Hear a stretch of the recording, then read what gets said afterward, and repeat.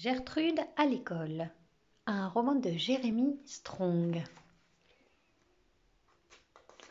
Gertrude à l'école. Chapitre 1er. La nouvelle institutrice. Il y eut un interminable silence. Monsieur Schrapnel fixait d'un œil morne le récepteur du téléphone qu'il tenait encore dans sa main gauche. Puis il leva lentement les yeux et son regard rencontra celui de madame bunt la secrétaire de l'école. Prise d'inquiétude elle mit sa petite main devant sa bouche ah! Monsieur Schrapnel, que se passe-t-il? Avec qui parliez-vous? Monsieur Schrapnel parut découvrir dans sa main l'appareil qui venait de lui transmettre la mauvaise nouvelle.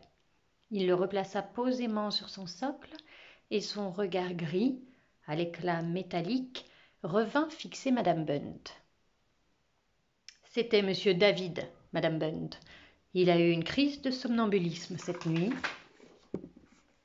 Il a fait une chute dans les escaliers un bras et deux côtes fracturées.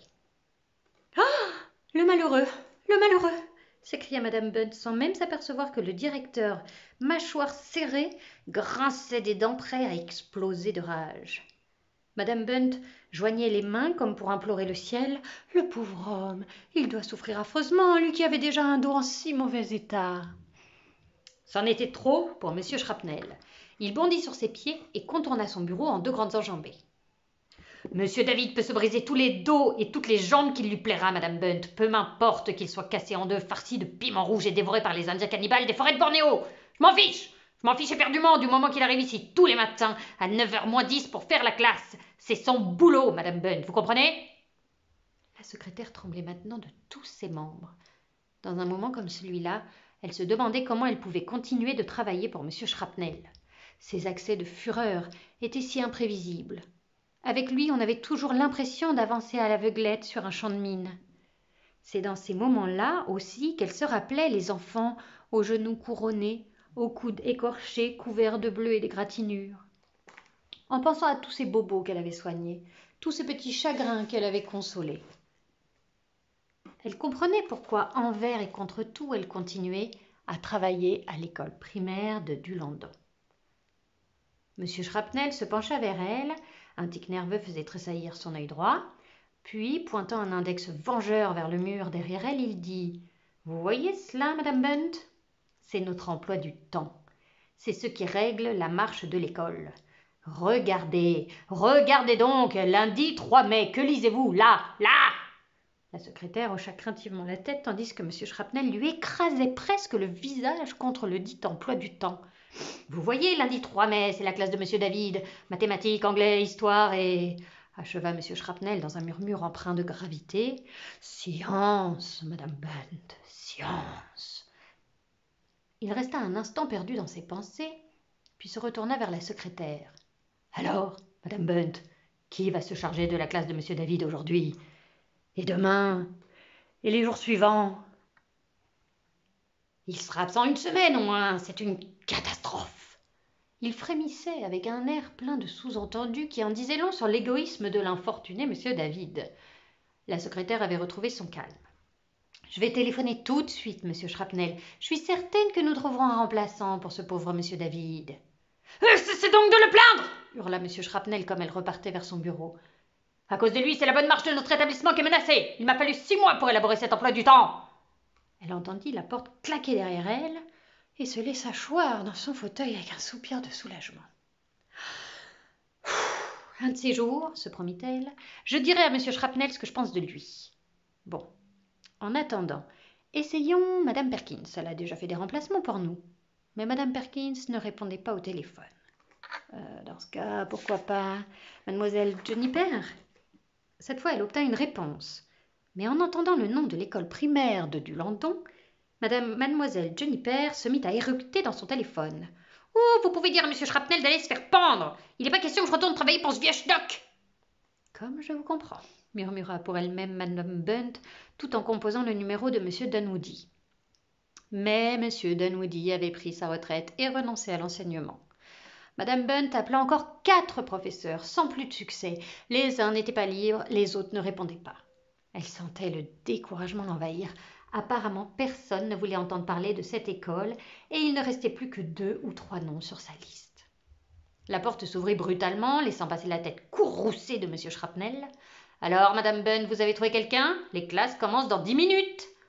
Ma foi, Monsieur Schrapnel, Madame Perkins ne peut pas venir, Mademoiselle Juniper est euh, prise ailleurs.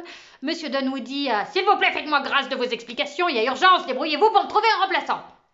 À nouveau la porte claqua, et sous le choc, une pile de paperasses glissa du tableau de Madame Bunn pour se répandre à ses pieds. La secrétaire se retrouva à quatre pattes, cherchant parmi les papiers sa liste de professeurs remplaçants. Elle finit par la retrouver sous une facture de six sauts S-O-T-S de décapant pour toilette, commandé par l'intendant. Il serait temps que cet intendant apprenne l'orthographe, dit-elle à haute voix, en remplaçant so par so, S-E-A-U-X. Bon, voyons cette liste. Reste Madame Green et Mademoiselle Pandémonium. Pandémonium, qui signifie lieu bruyant où règne le désordre. La secrétaire reprit son téléphone. Madame Green n'était pas chez elle, restait Mademoiselle Pandémonium. À la première sonnerie, une voix enthousiaste se fit entendre. Pas de problème, lança Mademoiselle Pandémonium. J'arrive, j'accours, je suis déjà chez vous. Le temps de prendre mon sac et de me maquiller. Oh, et puis non, je ferai ça en chemin. Seigneur, la classe commence dans cinq minutes. Je fonce Mademoiselle Pandémonium, commença Madame Bunt. Savez-vous que c'est bien l'école du Randall glapit Mademoiselle Pandémonium à l'autre bout du fil. Elle venait de parler d'une drôle de façon, car tout en discutant, elle était en train de sautiller sur un pied pour essayer d'enfiler ses bas. Vous avez un problème? s'enquit anxieusement Madame Bunt en entendant un grand bruit. Tout va bien, tout va bien La voix de mademoiselle Pandémonium soudain semblait venir de très loin. En réalité, elle venait de tomber par terre et sa chute avait projeté le téléphone à l'autre bout de la pièce. Ne vous en faites pas, j'arrive annonça-t-elle. Puis elle raccrocha avant que Madame Bunt n'ait eu le temps de lui préciser que l'école s'appelait du Landon et non pas du Randall. Madame Bunt hocha la tête à plusieurs reprises, comme pour remettre un peu d'ordre dans ses pensées. Il lui fallait maintenant annoncer la nouvelle à Monsieur Schrapnel. Elle se leva, puis s'immobilisa un court instant pour réfléchir. Un petit sourire se dessina sur ses lèvres. L'arrivée de cette mademoiselle Pandémonium l'inquiétait et en même temps lui donnait envie de rire. Dieu seul sait pourquoi. C'était peut-être parce qu'elle imaginait d'avance la rencontre entre M. Schrapnel et mademoiselle Pandémonium. M. Schrapnel, en tout cas, fut enchanté de la bonne nouvelle, puis il jeta un coup d'œil à sa montre. Il ne reste plus que quatre minutes, non, trois, avant le coup de sifflet. Bon travail, Madame Bunt. Espérons qu'elle sera ici à l'heure. Que savez-vous d'elle? Madame Bunt consulta ses fiches. Elle nous a écrit qu'elle pouvait enseigner n'importe quoi à n'importe qui. Le directeur se frottait les mains. Vraiment? Excellent, excellent. Elle devrait être ici à temps. J'y vais, il faut que je sois prêt pour donner mon coup de sifflet. Et saisissant son instrument, il s'éloigna à grands pas vers la cour de récréation. Les enfants criaient, hurlaient et se précipitaient dans toutes les directions comme des boules de flipper. Mais les enfants comptaient peu pour M. Schrapnel. Il était à la tête de son école comme un général à la tête de ses troupes. Chaque chose avait sa place, et il y avait une place pour chaque chose. Il y avait un temps pour tout, ses yeux ne quittaient plus la montre bracelet. Dix secondes. Neuf. Huit. Il porta le sifflet à ses lèvres. Un son perçant vint mettre fin au bruit et à l'agitation qui régnait dans la cour de récréation. Chaque enfant s'immobilisa comme pétrifié sur place. François, tu as bougé un pied. Je t'ai vu, mon gars. Et toi là-bas, la fille? Oui, toi Cesse de te gratter. Monsieur Schrapnel jeta un regard vers le parking. Mademoiselle Pandémonium n'était toujours pas là. L'écho assourdi d'une sirène s'éleva dans le lointain. Sans doute une voiture de pompiers, se dit-il. Puis il commença l'appel. Les enfants, en rang et en silence, commencèrent à pénétrer dans le bâtiment. Le bruit de la sirène se rapprochait.